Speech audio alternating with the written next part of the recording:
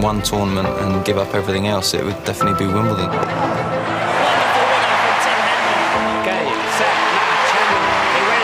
It's my favourite time of year, it's my favourite tournament. I just look forward to everything about it. I know that it's going to be my toughest test so far. Whatever the situations you're in, you've got to deal with them.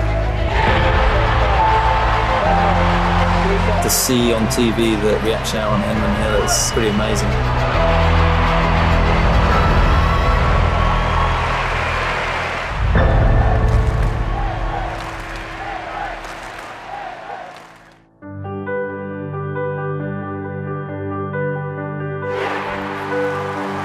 There was Andy Murray, Britain's hopes of a first Wimbledon men's singles champion since 1936 rested on the shoulders of Tim Henman. He's done it! For two weeks every July, Tim took the British public on a true roller coaster of emotions.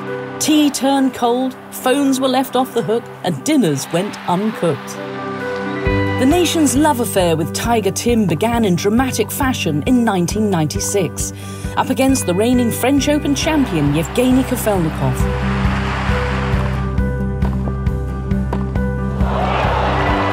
Henman saved two match points. An almighty upset was brewing.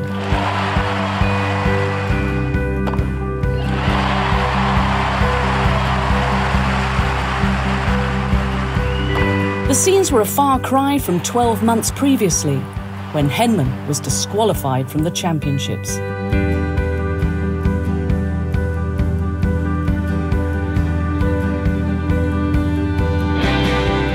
That incident was a distant memory as he clawed his way back against Kafelnikov.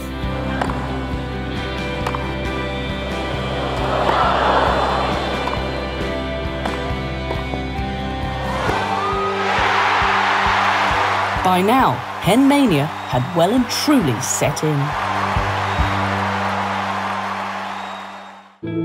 In 1997, hopes were high. Rain forced play onto a rare middle Sunday, but the wet weather certainly didn't dampen British spirits.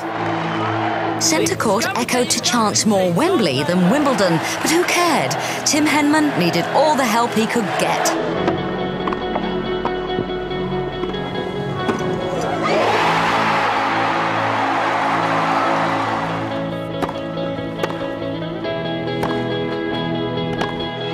Can safely say it doesn't get any better than what I played in front of today because point after point they pick me up.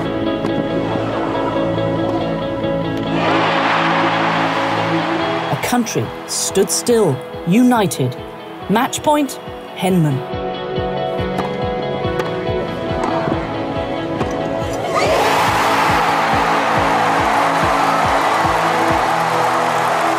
Just the whole atmosphere was amazing, and I don't think in tennis for a British player to play on centre court at Wimbledon with that sort of atmosphere, I know it can't get any better. Great Britain was again captivated in 1998. All eyes were on Henman as he became the first British man to reach the singles semi finals at the championships since 1973. I've always regarded as the biggest thing in the world. If I could choose to play my best tennis, definitely be for those two weeks.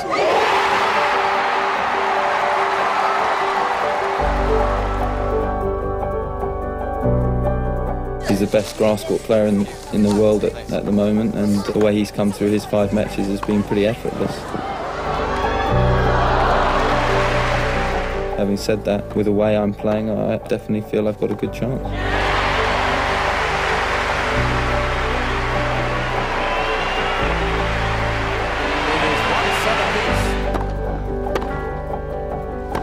He seems to have found a hole with some new shots. It's just terrific, this. Unbelievably, Sampras stretching. The backhand volley is a winner from Pete Sampras. And both players really have hit the heights. Thank you. Players are ready, please. Thank you.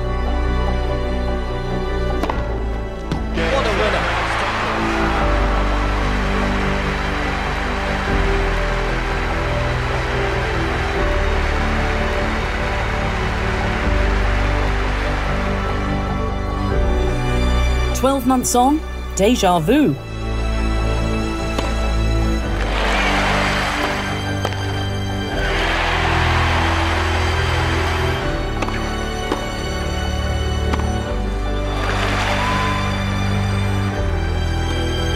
Different year, same result.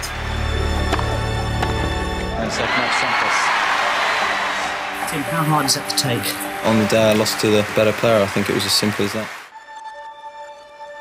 It was 2001 before Henman would return to the last four, thanks to impressive wins over Todd Martin and one Roger Federer.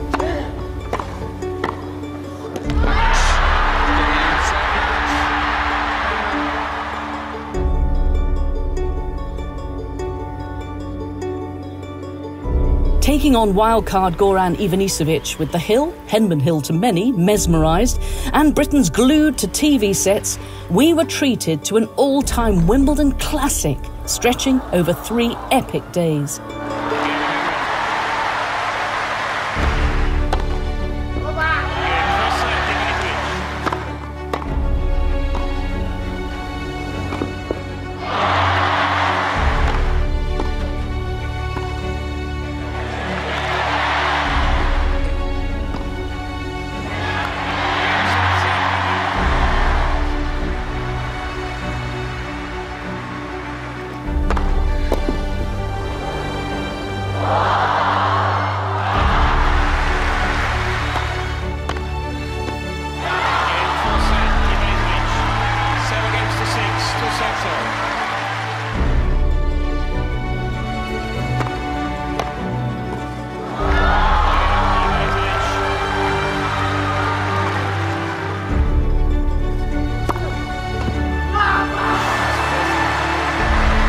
I certainly did my best. Unfortunately, it wasn't good enough this year.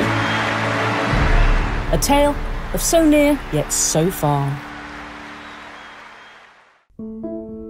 Valiant in effort and determined more than ever, Tim's inimitable resolve would help him bounce back again the following year. Like every July, hope hung in the air that this could be Tim's year. Another run to the semi finals. In his way this time, world number one, Lleyton Hewitt.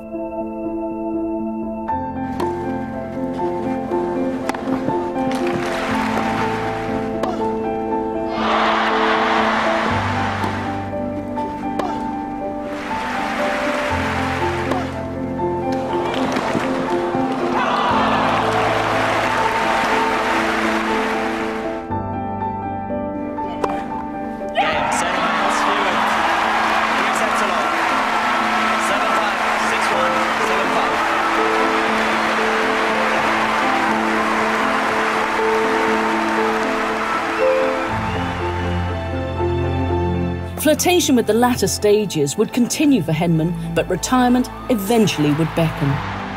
In 2007, Britain's pillar of hope for so long would be victorious for the final time on centre court. It was his 43rd win at Wimbledon, and sadly, his last. Bowing out in the next round, Tim's pursuit of glory was over. His legacy was his inspiration to others with one fan in particular following in his footsteps and making a country's Wimbledon dream a reality. For a generation of British sporting fans, Summers and Henmania went hand in hand, with moments to last a lifetime.